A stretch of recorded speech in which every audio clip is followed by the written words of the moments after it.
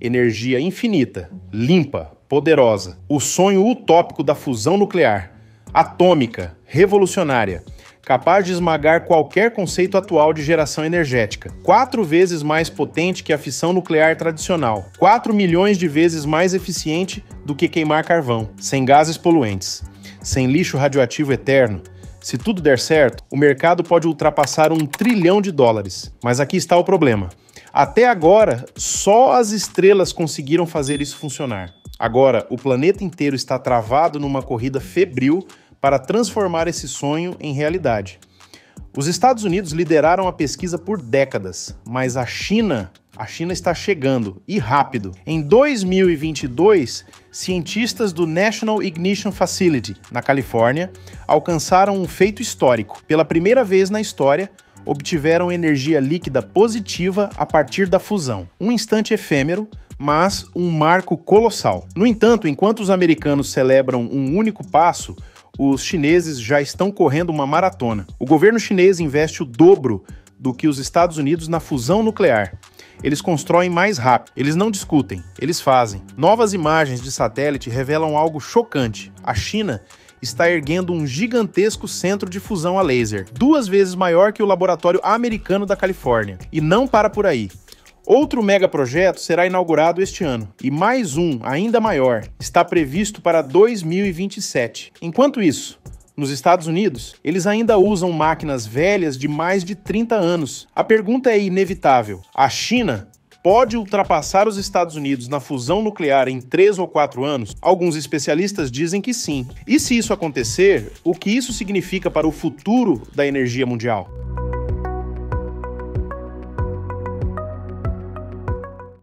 Inteligência artificial e a fome energética do futuro. A era da inteligência artificial chegou. Algoritmos vorazes, devorando dados, modelando o futuro. Mas há um problema. IA precisa de eletricidade, muita eletricidade. Centros de dados ao redor do mundo estão consumindo energia em níveis astronômicos.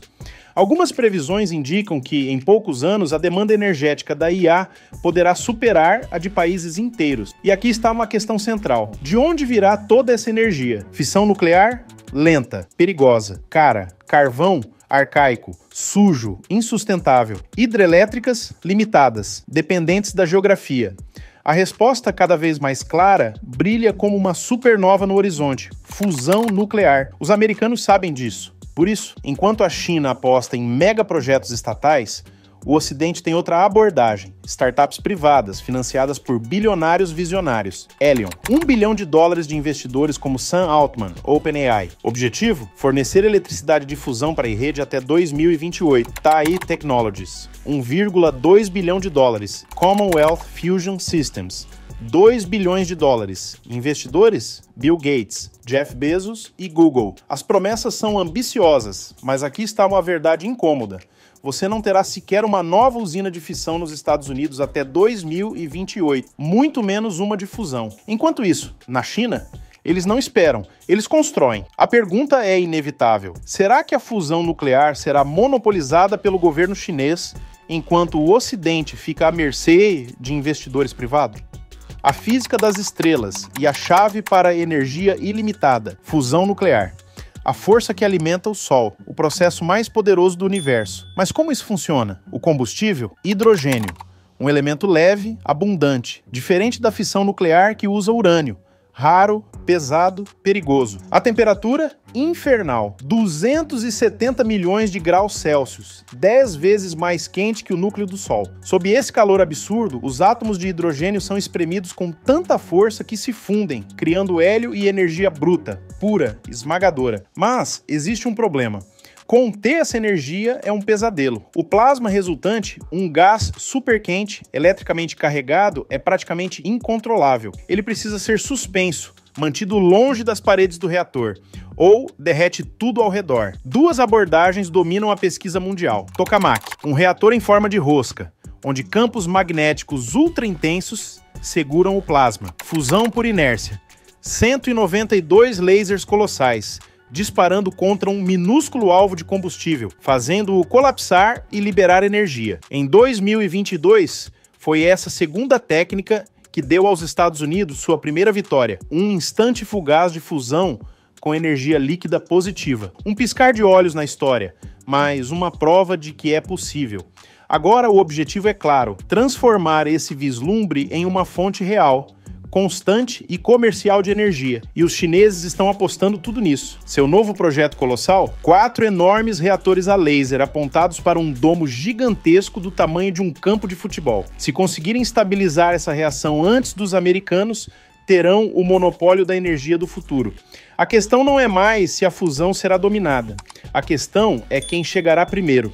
Antes de continuar, se você gosta de acompanhar inovações como essa e quer aproveitar descontos exclusivos, eu selecionei alguns produtos incríveis. Dá uma olhada na descrição e aproveita os cupons enquanto duram. O jogo político e a guerra da fusão.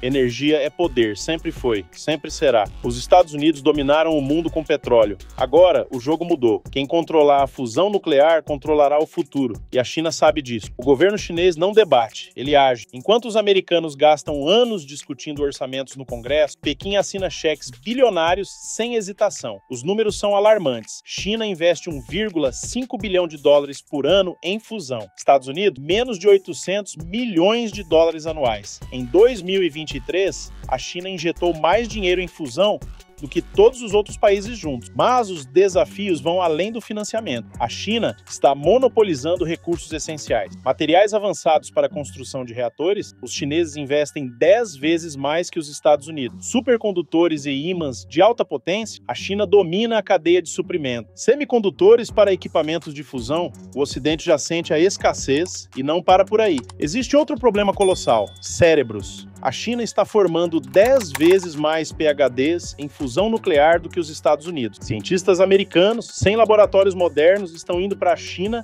para trabalhar nos projetos deles. Sim, você leu certo. Os próprios Estados Unidos treinaram especialistas que agora ajudam a China a ultrapassá-lo. O que aconteceu com a indústria de baterias e painéis solares pode se repetir. China lidera, Estados Unidos reagem tarde demais. Mas há um trunfo americano, a grande vantagem ocidental, o setor privado. Enquanto a China centraliza tudo no governo, os Estados Unidos apostam em empresas inovadoras, startups que desafiam os limites da tecnologia criando métodos que nem mesmo a China pode copiar. E aqui está a grande dúvida: o modelo ocidental de inovação será suficiente para vencer o ritmo implacável da máquina estatal chinesa? A fusão nuclear não é apenas uma corrida científica, é uma guerra econômica, geopolítica e tecnológica. O futuro da energia está sendo decidido agora e ninguém quer estar do lado perdedor.